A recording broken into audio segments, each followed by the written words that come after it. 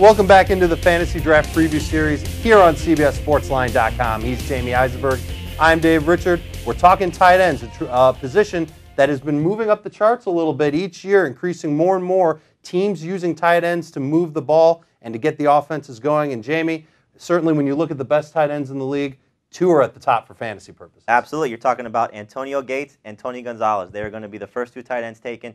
Gates probably in the third round, maybe even the second. Gonzalez probably starting in the fourth round. Both guys are going to give you lots of production because they are very good tight ends. You know what? What we've been seeing is Gates goes right off the bat, and then Gonzalez five picks later. So when Gates goes, Gonzalez goes.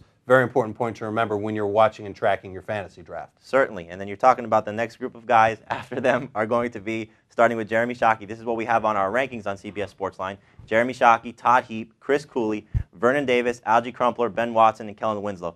Dave, I know we have Chris Cooley as the fifth rated tight end, but I think you can get some value out of Vernon Davis and Ben Watson. Vernon Davis is going to be in an up-and-coming offense with Alex Smith. Now that Darrell Jackson's there, certainly Frank Gore. And then you're talking about Ben Watson with the options around him.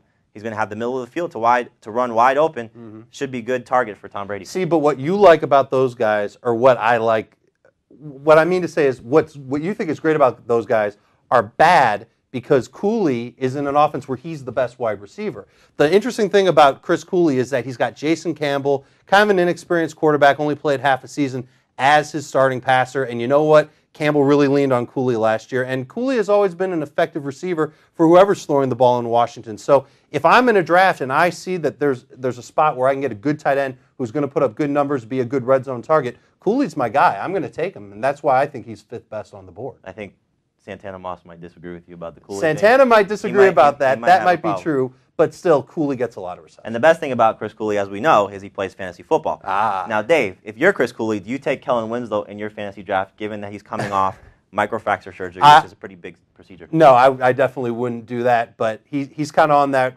risk reward level where it's high risk to take him, high reward to get him. The microfracture surgery kind of signals that he's got like maybe max five years left in the league. I know it's a big NBA injury. Absolutely, and the one thing about Kellen Winslow is you want to keep an eye on during training camp, during preseason, how he performs, how he comes back. The reports we're getting out of Cleveland yep. are very good, so it looks like he's going to be back to full strength next year. Although he could fall into that bust category if you take very him much so. and then he falls off. Speaking of bust, let's take a look at some guys we think are going to be busts from tight ends: Jason Witten, Dallas Clark, Desmond Clark, and Daniel Graham. Dave, what do you think about Jason Witten and Dallas Clark? Well, those those are the two uh, big names on the board. A lot of people are going to recognize them and go, "Hmm, I know that name. I'm going to take them to be my fantasy tight end." Not so fast, just because they both play in pass-heavy offenses where they're not going to get the ball as much as you'd like them to get the ball. Jason Witten plays with T.O. and Terry Glenn. Not so good for his reception totals. Same thing in Indianapolis. You know the Colts receivers are pretty big. Marvin Harrison, Reggie Wayne, Anthony Gonzalez coming on strong. You know that Dallas Clark isn't going to get a lot of receptions. He may be a good red zone target, but that's about it. And, and that's why you want to kind of veer away from them.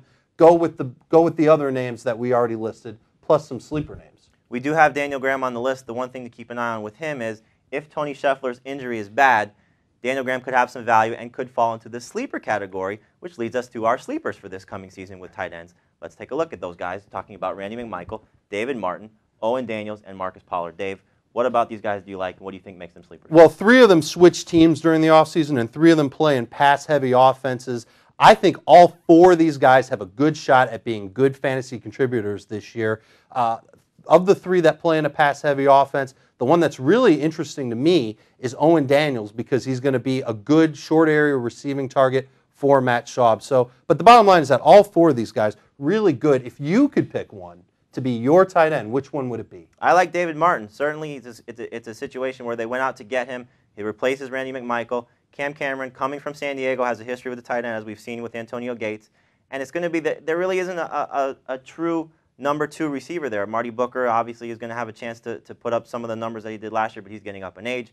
Chris Chambers is really the only receiver, and he's not that good, to be honest. uh, you know, he, he's one of those guys that falls into the bust category. Uh-huh. So David Martin, a lot of potential. Maybe this is the type of, of team that brings it out, and also Trent Green has a good history with the tight end with Tony Gonzalez. Yeah, and he's an excellent late round pick if you're looking to find somebody to help get value for your fantasy team.